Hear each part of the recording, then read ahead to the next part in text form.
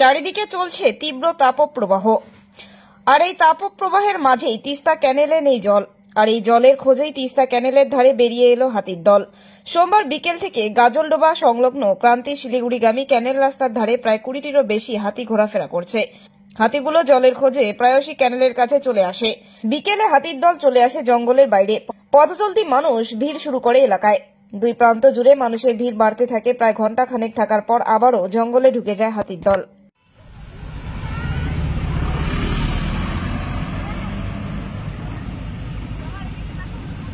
aqui do